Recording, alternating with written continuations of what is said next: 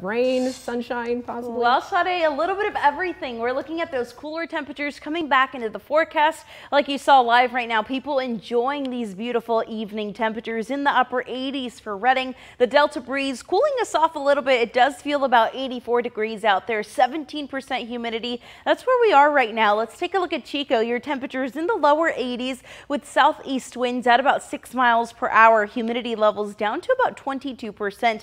But our weather headlines as we kick off this work week, we're looking at warm Monday temperatures, but temperatures do drop as we head into the middle of this upcoming work week. We're back into the 70s. That's great news there. And even greater news, a very slight chance of rain by the time Wednesday comes around. But our satellite radar right now looking mostly clear. Beautiful skies as we're looking at here. Maybe a cloud cover or two along the north coast. And their temperatures in the upper 50s right now. Mount Shasta in the upper 70s. Most of our foothills in the lower 80s at this hour. 75 degrees right now in Burney. We are tracking above normal rainfall, at least for the Pacific Northwest and our northern and eastern neighboring states and parts of the North State as well. Pretty dry to the east of our area, but below normal temperatures are in the forecast as we head into this upcoming work week. That's thanks to low pressure with that cooler front making landfall by Wednesday. We're looking at cooler temperatures, the possibility for some rain chances. So let's break this down. On Tuesday afternoon, Tuesday evening around 5, we are expecting some rain chances across the north coast.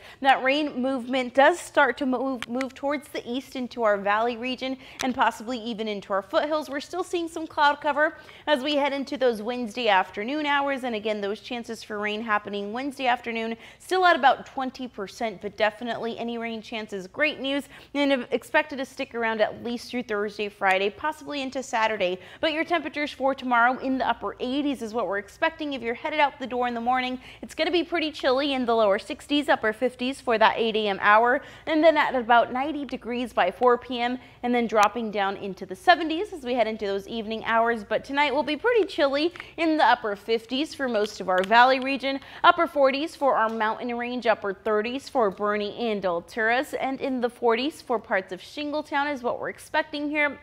70s back in the forecast for Mount Shasta to kick off this Monday, upper 80s for Hayfork, Weaverville and Lewiston also looking at very similar temperatures. And your temperatures in Burney in the lower 80s for tomorrow, upper 70s for Alturas and for Chester. Fall River Mills also in the upper 70s. That's what we're looking at here. Redding your temperatures in the upper 80s as we kick off this work week, lower 80s for Lakehead and a little bit cooler here in Chico at about 89 degrees and cooler temperatures for Paradise at about 83 degrees. We are seeing some possible upper 80s, lower 90s in most of our valley region as we head into our Monday. But Redding, your temperatures drop down into the 70s by Wednesday, Thursday, and Friday. And come this upcoming weekend, we do see a warm up in those temperatures and rain chances expected to clear up by this weekend in both Redding and in Chico.